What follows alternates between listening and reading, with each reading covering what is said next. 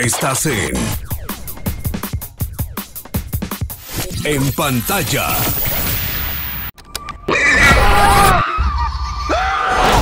Llega en pantalla esta semana Jigsaw. El juego continúa, la octava entrega de la saga Saw, que está centrada en el asesino serial John Kramer, mejor conocido como Jigsaw. Esta cinta está situada 10 años después de los sucesos conocidos donde él ya murió, pero inesperadamente vuelven a aparecer estos tipos de asesinatos tan característicos que envuelven mucho de lo que son juegos y rompecabezas donde tiene que decidir el asesinado qué debe de hacer y que está regido totalmente por su actividad como persona social. No cabe duda que esta ha sido muy redituable si tomamos en cuenta que ha sido con muy bajo presupuesto. De hecho, esta última entrega costó solamente 10 millones de dólares y ha recaudado a nivel global cerca de 60 millones de dólares. Una cifra bastante redituable si tomamos en cuenta de que la saga Soul ha sido muy devaluada desde su primer cinta hasta esta octava. Así que si tú eres fanático del terror y de todas esas escenas gore donde la sangre brota por todos lados, no puedes perderte Jigsaw. El juego continúa en Cinépolis, Plaza del Puerto.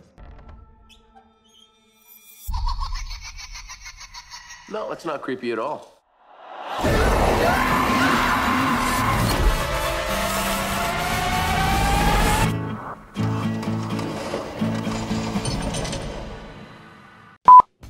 El 8 de diciembre llega a Netflix la segunda temporada de The Crown, la famosa serie que ha sido vanagloriada y con muchos premios y que nos cuenta más acerca de la vida y el transitar a lo largo de su reinado de Isabel II.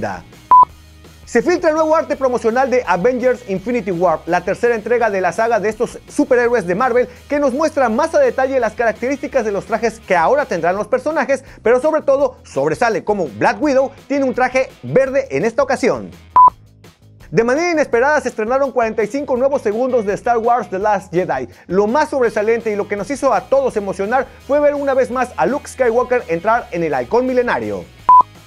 Surge un fuerte rumor de que Amazon Studios, el famoso streaming que le está haciendo competencia a Netflix, está a punto de iniciar el rodaje y está en pláticas muy cercanas para hacer una serie totalmente basada en el mundo del Señor de los Anillos. Lo más importante o lo más interesante es que el hijo de Tolkien está involucrado en toda la producción.